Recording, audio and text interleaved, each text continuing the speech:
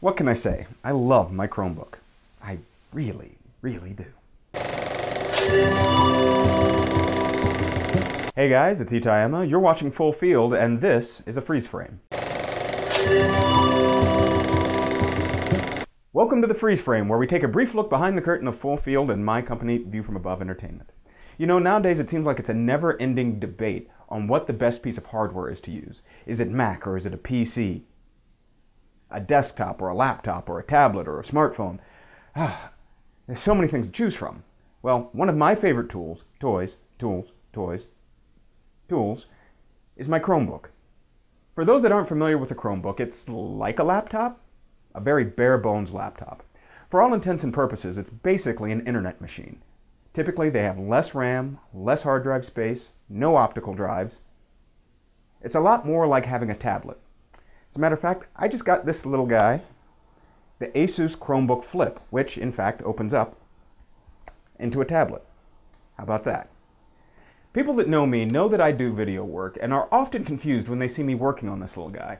Now, obviously, I can't do any kind of editing on my Chromebook, but that's where this app comes in. It's the Chrome Remote Desktop.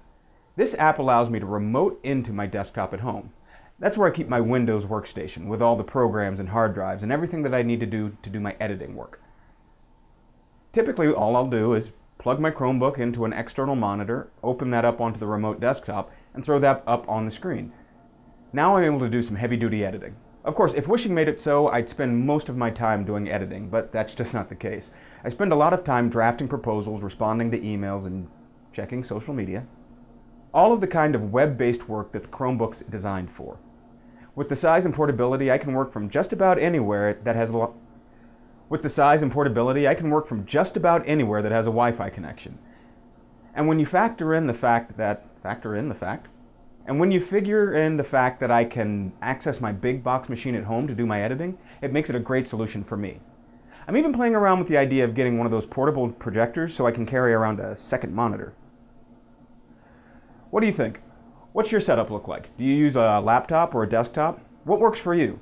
Leave me a note in the comments below. As always, if you like this video, please don't forget to like it, and tweet it, and share it.